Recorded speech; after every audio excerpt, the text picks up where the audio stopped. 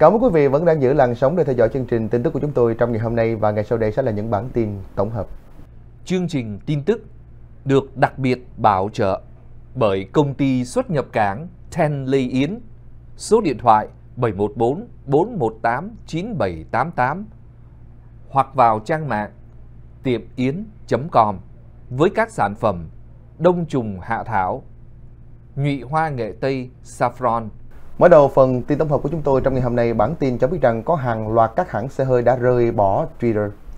Mới đây thì Volkswagen đã lập sẵn tài khoản trên mạng xã hội có tên là Mastodon, một động thái sẵn sàng cho việc rời bỏ Twitter.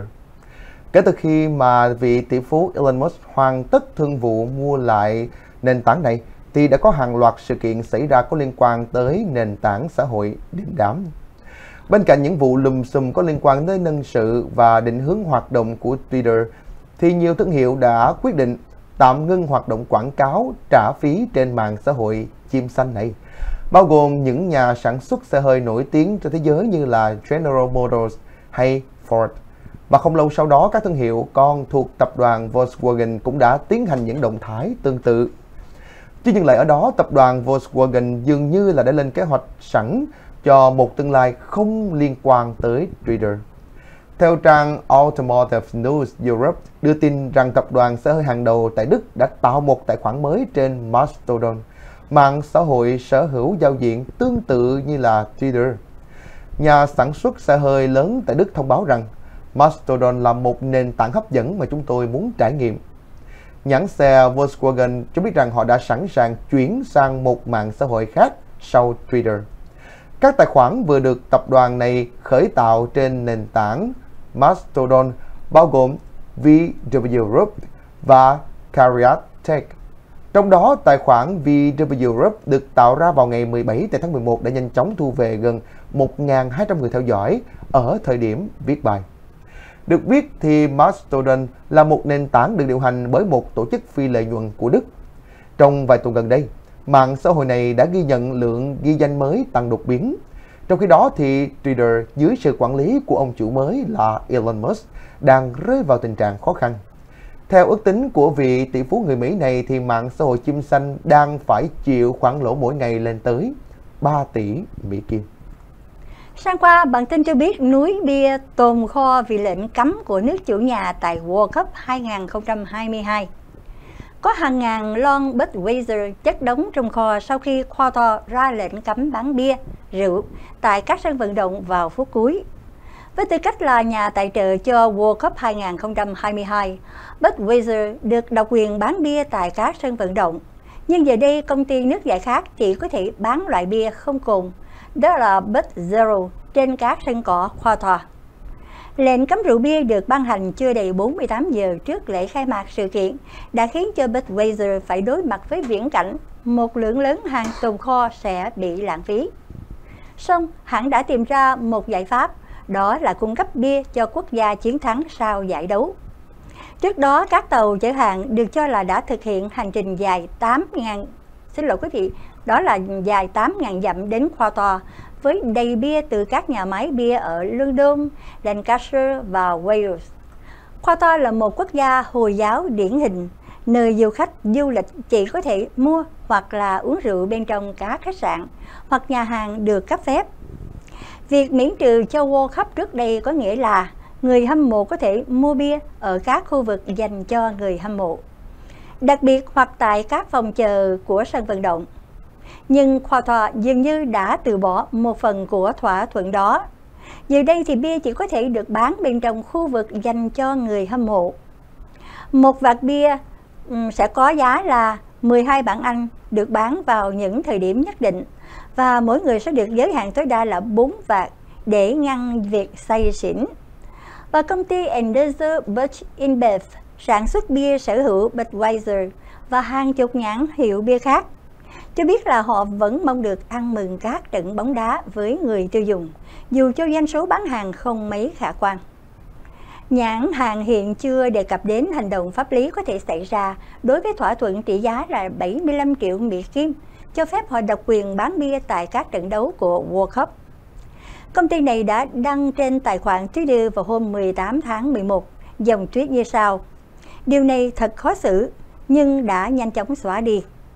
Quyết định cấm bia cũng gây ra nhiều tranh cãi khi FIFA dường như đang cúi đầu trước khoa tòa. Cũng như bản tin liên quan tới thể thao, thưa quý vị, siêu sao bóng đá Ronaldo có nửa tỷ lượt người theo dõi trên mạng xã hội. Vào chiều ngày 21 tháng 11, tài khoản Instagram chính thức của siêu sao bóng đá Cristiano Ronaldo với tên tài khoản là Avon Cristiano đã cán mốc 500 triệu người theo dõi. Anh là người dùng cá nhân đầu tiên đã được cột mốc này trên tất cả các nền tảng mạng xã hội. Có duy nhất một tài khoản cao hơn Ronaldo về lượng người theo dõi, đó là tài khoản chính thức của nền tảng Instagram với 569 triệu người theo dõi. Ngoài ra, lượng người theo dõi tài khoản CR7 cũng đã tăng trong những ngày World Cup 2022 cận kề. Theo đó, trong tuần qua, có 3,5 triệu người đã bấm nút follow tài khoản của siêu sao của đội tuyển Manchester United và đội tuyển Bồ Đào Nha. Với hơn 3.300 bài đăng được chia sẻ thì cầu thủ Ronaldo đã thu về trung bình khoảng 8 triệu lượt thích cho mỗi nội dung. Tấm ảnh có số lượng tương tác cao nhất của Ronaldo trên Instagram chính là bức ảnh chụp chung với lại danh thủ Lionel Messi. Quảng cáo cho thương hiệu thời trang Louis Vuitton được đăng tải vào ngày 19 tây tháng 11. Và chỉ 3 ngày sau, bài đăng nói trên đã mang lại cho anh 36,6 triệu lượt thích và gần 500.000 lượt bình luận. Các hãng truyền thông gọi đây là bức ảnh thế kỷ trong ngoặc kép, hay còn gọi là khoảnh khắc của lịch sử trong ngoặc kép, thưa quý vị.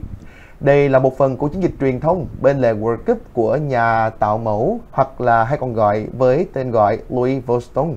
Và cả Ronaldo và danh thủ Messi đều chia sẻ đồng thời trên các nền tảng mạng xã hội. Tuy nhiên, có nhiều người hâm mộ lại tỏ ra thất vọng khi biết đây là một tấm ảnh ghép. Thực tế thì Ronaldo và Messi xuất hiện ở hai buổi chụp khác nhau. Thế là nhiếp ảnh gia kỳ cựu Andy Leibovitz đã tác nghiệp với từng cầu thủ và đã ghép họ lại với nhau. Trước làn sóng tẩy chay, các bài đăng liên quan tới buổi chụp hình nhanh chóng bị gỡ khỏi YouTube, Instagram của Lee Burston, cũng như là đội ngũ thực hiện tác phẩm. Hiện nay thương hiệu thời trang Messi và Ronaldo đều chưa có phản hồi về sự việc lần này. Theo công ty nghiên cứu Hopper, doanh thủ Ronaldo có thể thu về khoảng 2,3 triệu Mỹ Kim cho mỗi bài đăng trên tài khoản Instagram của mình. Trong khi đó, Messi nhận được khoảng 1,77 triệu Mỹ Kim với mỗi nội dung được chia sẻ. Trong khi đó, tại Na Uy, thưa quý vị, mưa sao băng tại cầu lửa sáng chói. Một trận mưa sao băng Thoris đã tạo ra một vệt sáng lớn trên bầu trời phía tây nam Na Uy. Các chuyên gia khí tượng cho biết, sao băng sáng bất thường được gọi là cầu lửa xuất hiện vào khoảng 19 giờ ngày 19 tháng 11 theo giờ địa phương.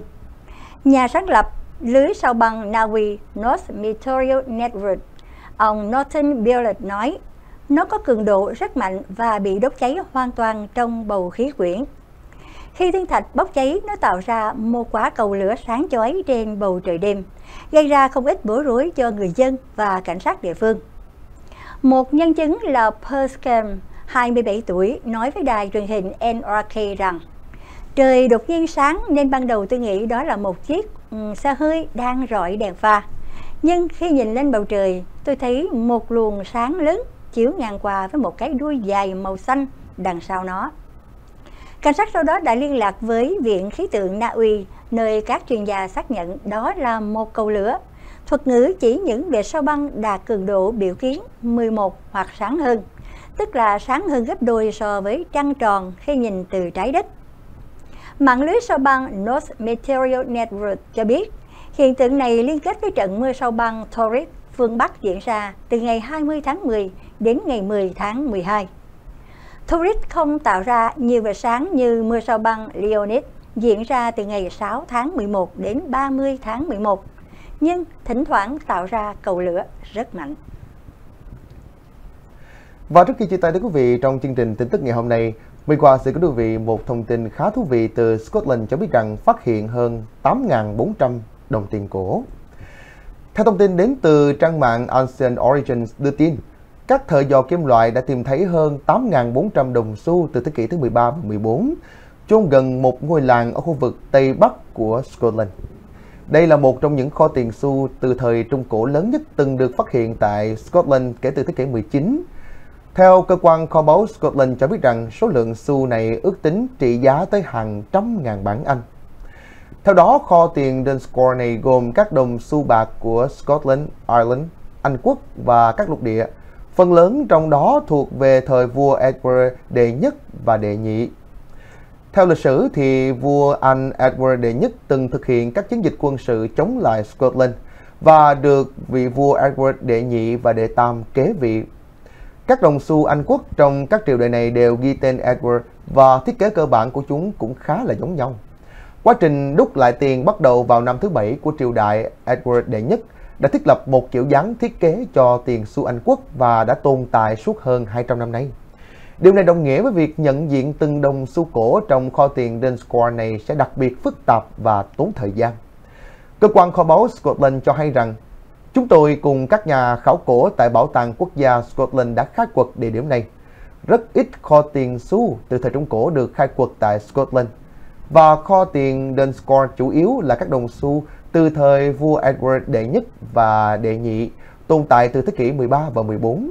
Mỗi đồng xu sẽ được lập danh mục trước khi chuyển sang quá trình phân bổ. Việc này đòi hỏi phải nhận diện, chụp ảnh, đo lường và cân từng xu một.